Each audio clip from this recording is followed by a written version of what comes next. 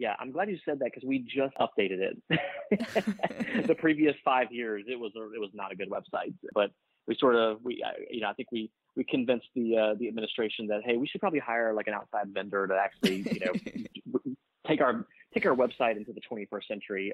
So good. I'm glad you. I, I will pass it on to our staff that that visitors are having um, no problem navigating the new website. I live in Chicago, and the Chicago website trying to navigate is terrible. So uh, you, Clarkston is very much the model of of how cities should be. I think one of the things that strikes me, I you know, so I just mentioned I live in Chicago, and and obviously our mayor has a full time job we're hearing so much about corruption, conflicts of interest kinds of questions. Is there ever any tension in in small towns where the mayor is part-time, the city council is part-time and these people have other jobs? Is there ever sort of tension about, you know, the the influence of people's other employment and and what that might mean in their roles on city council or as mayor?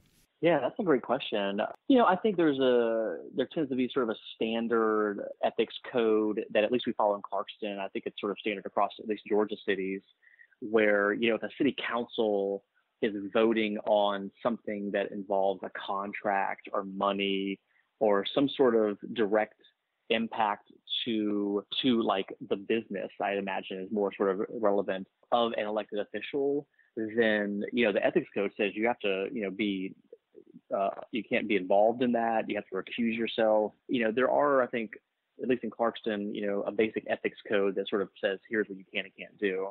You know, beyond that, though, I think whether you're talking about sort of issue advocacy or just having uh, elected officials who have a broad range of experience in the real world, I think that's kind of what you want. And I, you know, uh, it's hard, so hard to find good people to run for local office, particularly in small towns. We end up kind of just getting whoever's willing to volunteer to do it. And you know, whether it's the pay's too low or it's sort of you know kind of work you have to do after your your full time job is done, you know, after hours or on the weekends. I think there should be a greater recognition that a diversity of opinions in a city council chamber is a good thing because if you only have sort of one set of people who only have one perspective making votes and deciding policy, I think you're gonna and you're not good about doing civic engagement.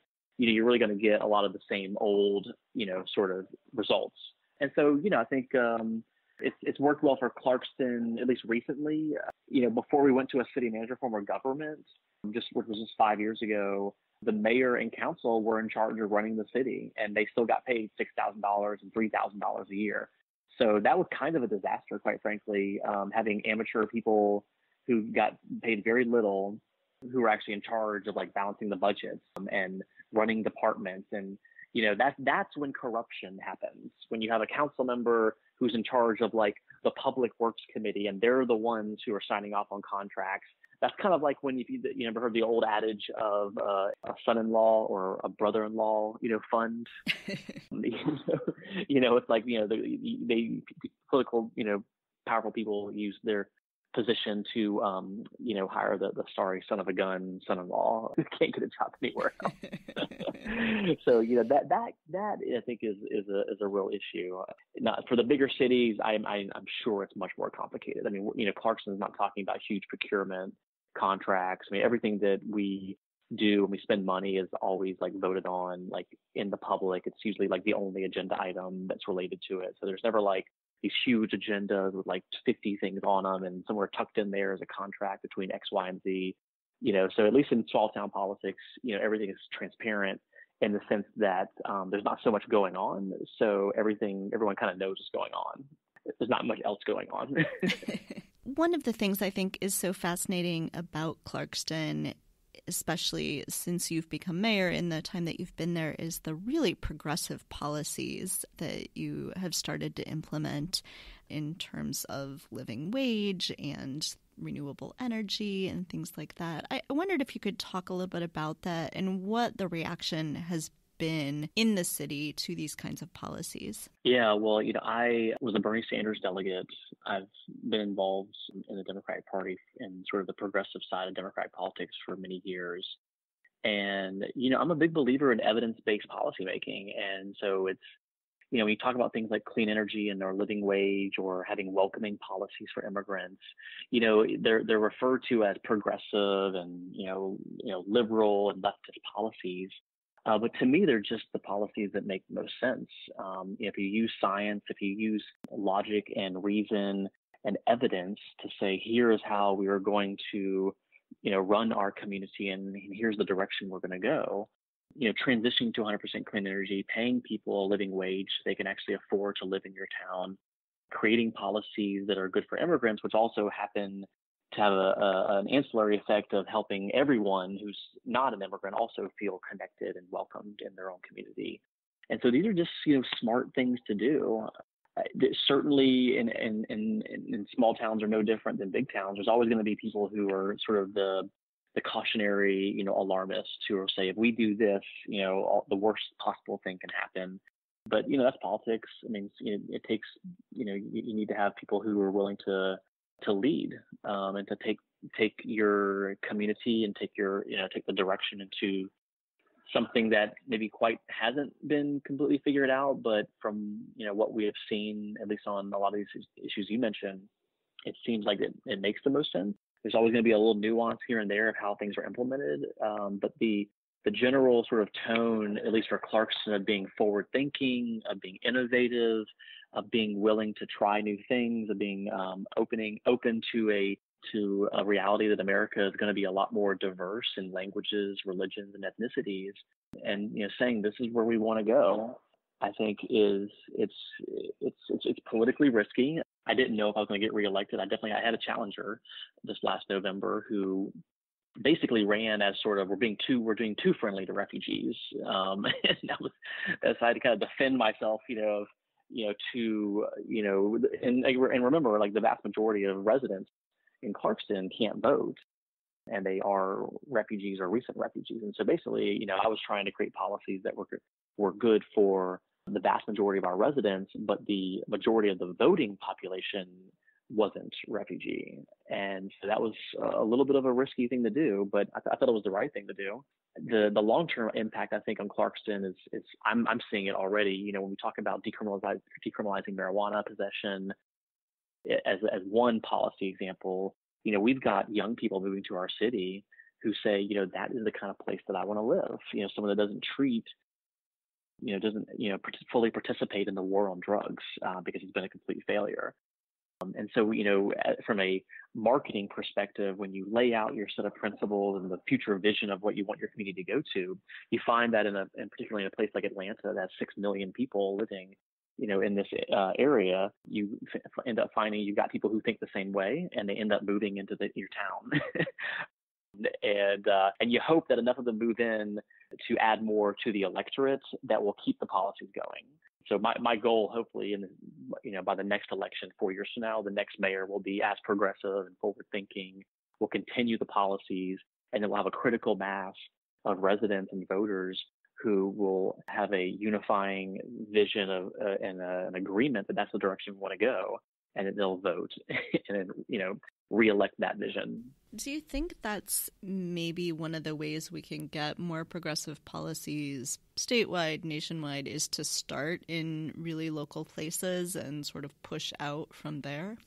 Oh, definitely. Yeah. You know, they always you always hear this thing about states being the laboratories of democracy. I think you could that same logic applies to small cities and you know other smaller municipalities and counties. You know, we have the opportunity to try something um, before someone else tries it. And in Georgia, we have a lot of um, what's called home rule power, and so there's a lot of things that local cities can do without the permission of the legislature, unless the legislature has preempted it. And so with the decriminalization of marijuana, you know, this was something that was seen as very radical when we introduced it three years ago. But today, you know, three years after Clarkston has passed passed our decriminalization of marijuana possession, the city of Atlanta has passed it, the city of Savannah, the city of Augusta, the city of South Fulton, of College Park. So basically, like larger and medium and larger size cities waited to see how Clarkston did. Okay, okay. So after a year of decriminalizing marijuana, Clarkston didn't turn into a drug haven.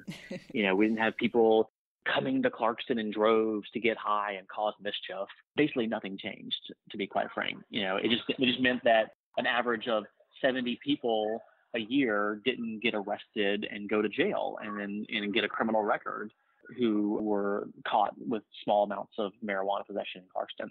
And so I think you know that that gave city of Atlanta, being the biggest city in Georgia, sort of enough evidence to say, okay, well we're willing to try this since it worked okay in Clarkston. Is there anything else that you would like to make sure that our listeners hear about?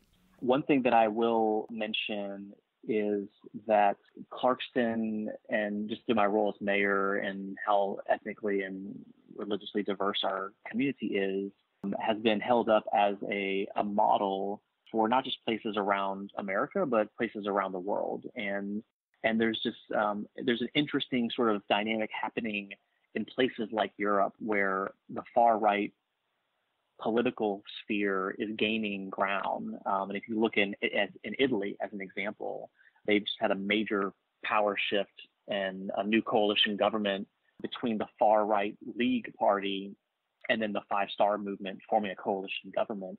And up until that time, you know, the, the that the, the, the, what was called the democratic government in Italy was creating policies that were um, helping to alleviate the, the the migration and refugee crisis that's happening worldwide. Uh, the United Nations has pointed out and you know raised the alarm bells that we are in one of the worst humanitarian crises since the end of uh, World War II. Uh, we literally have 23 million people that are in refugee status 10 million um, are asylum seekers, and another 65 million are internally displaced people within their own countries. And so we, you know, we nearly have 100 million people worldwide that are being forced from their homes through no fault of their own, um, and are having to find some sort of safety or security and and, and hope for a future um, that is really uncertain. And and it's going to take a, a global response. It's going to take a response not just from the federal government, but it's going to take a response from local municipalities and local leaders, as well as private citizens and even religious groups and even corporations.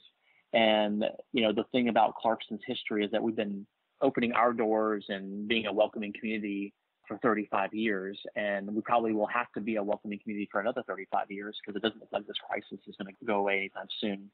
And I think it's really important. I mean, if you look at the rhetoric that's coming out of the Trump administration, you know, it's a lot of quasi passive aggressive racism.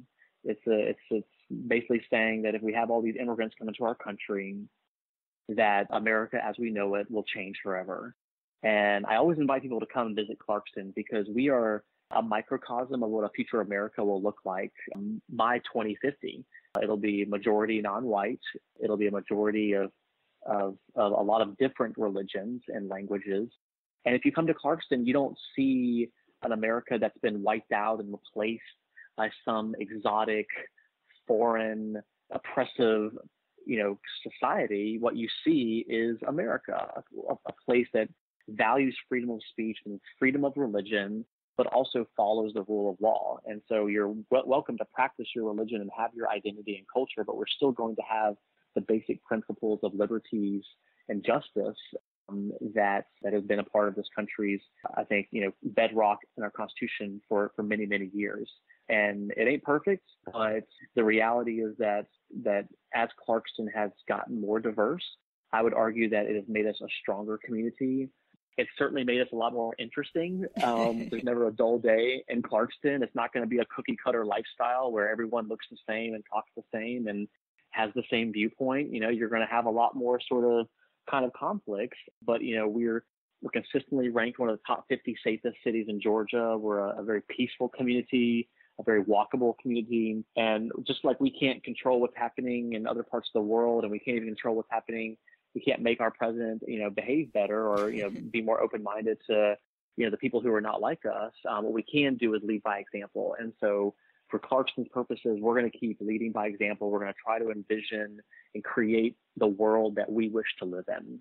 And you know, I'm, I'm, i can only hope that other people will will take inspiration from our example. Well, that is beautiful. And now I want to move to Clarkston, Georgia. Thank you so much for coming on and talking to me. This has been really fascinating. I have lived in small towns, but before I was paying much attention to politics and government and, you know, now I live in a big city and know how that works. So It's really fascinating to me to to hear about how things work in in a place like Clarkston, and I just think it it sounds like such a, a great place to live, and sounds like you and the council